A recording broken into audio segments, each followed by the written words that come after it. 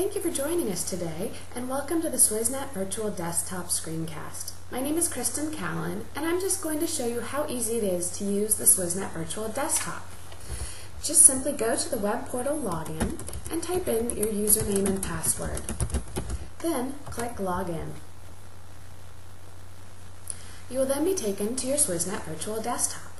Once at the virtual desktop, you can see all of your available applications in your Applications toolbox to the left of your screen. To open an application, just simply click on the Applications icon.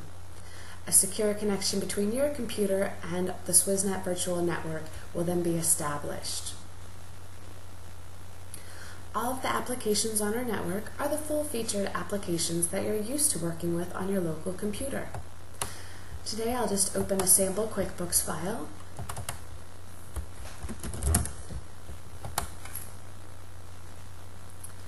As you'll see, it's the full-featured version of QuickBooks that you're used to working in on your local computer.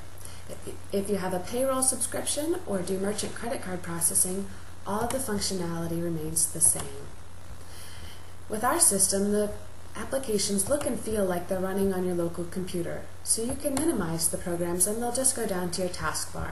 You're not stuck to the clunky terminal services window. I'll open Word here as well and show you how easy it is to launch all of the applications off of the virtual desktop.